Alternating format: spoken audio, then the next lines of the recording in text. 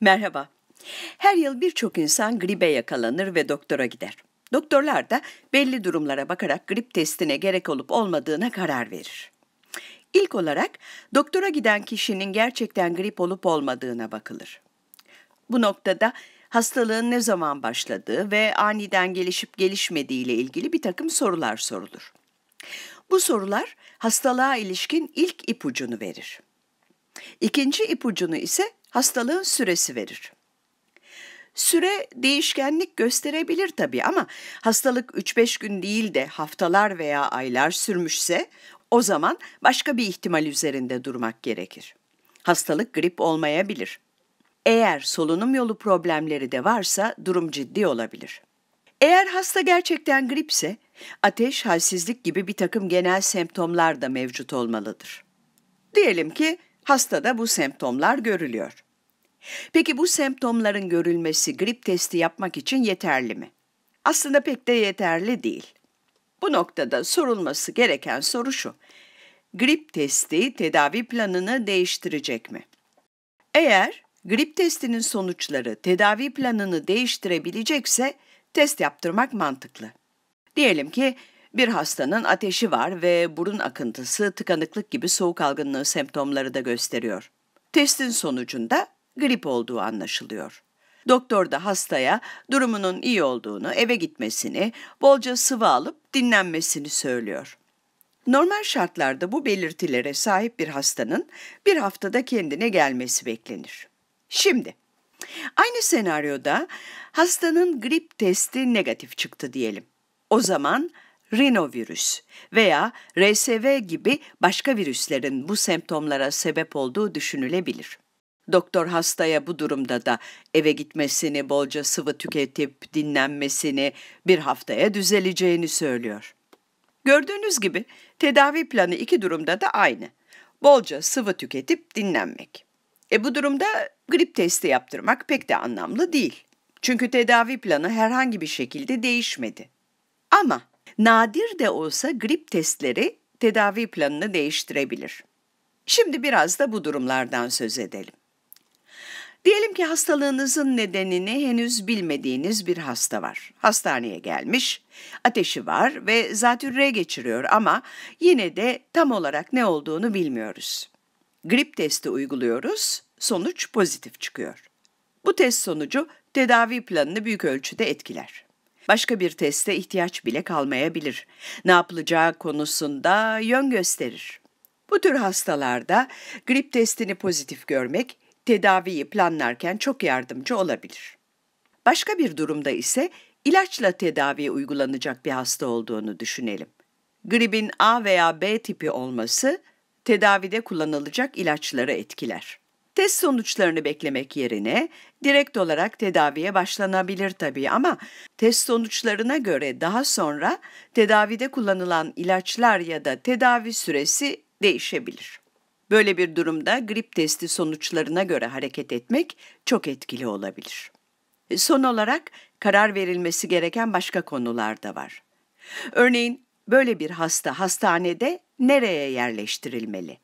Eğer grip değilse, grip olan hastaların olduğu yerde kalamaz çünkü ona da bulaşır.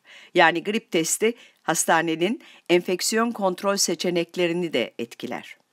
Buraya enfeksiyon kontrolü olarak not edelim. Salgın gibi başka ihtimaller de göz önünde bulundurulduğunda kaç kişinin grip olduğunu tespit etmek isteyebilirsiniz. Bu gibi durumlarda da grip testi yaptırmak mantıklıdır.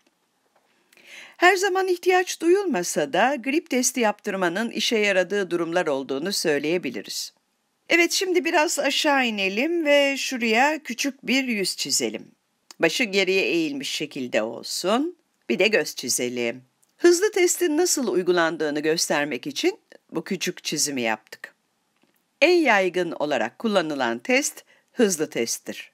Bu testte nazal sürüntü örneği alınır. Kocaman bir kulak çöpüne benzer bir çubuk burnun içine sokulur ve sonuna kadar gidilir.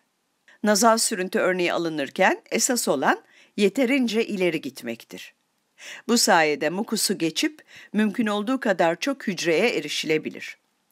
Çünkü virüs mukusta değil, hücrelerde bulunur. Hızlı test yapmanın bir başka yolu da aynı bölgeyi tuzlu suyla yıkayıp vakum uygulamaktır. Tuzlu su püskürtülür ve vakum uygulanır. Yine aynı şekilde esas olan mukusu aşıp hücreye erişebilmektir. Hızlı test, daha önce de söylediğim gibi en çok tercih edilen testlerden biri. Peki neden bu test daha çok tercih ediliyor dersiniz? Gelin bu sorunun cevabı için testin artı ve eksi yönlerinden söz edelim. Artı yönü isminden de anlaşılacağı gibi hızlı olması. Gerçekten de çok hızlı sonuç alabileceğimiz bir test. Sonuçları 15 ila 30 dakika içinde alabiliriz. Yani ilk avantajı hızlı olması. Testin kendisi 15 dakikadan az zamanda uygulanabilir. Bu büyük avantaj.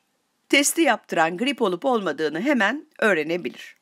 Bu testlerin bir başka avantajı da gripin A ya da B tipi olduğunu söyleyebilmesidir. Başka bir avantajı da dememin sebebi testlerin birçoğu A veya B ayrımını yapabilse de bazıları sadece A tipi veya B tipi olduğunu belirleyebilir.